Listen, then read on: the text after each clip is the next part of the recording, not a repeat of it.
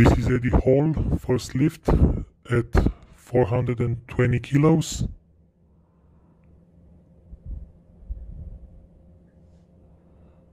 He's getting ready.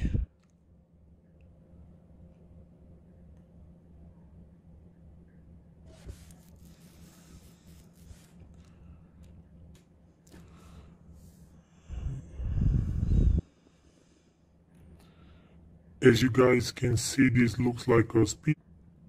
This is 465 kilo, at that time a world record. Let's see.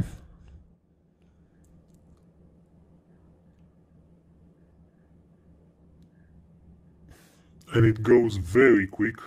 For a world record, it goes very quick. He gets into positions,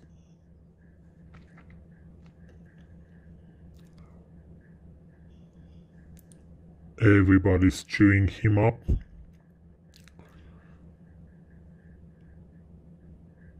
Here we go. And he makes the half ton deadlift. Here he stays with the weight up more than he should have. and here is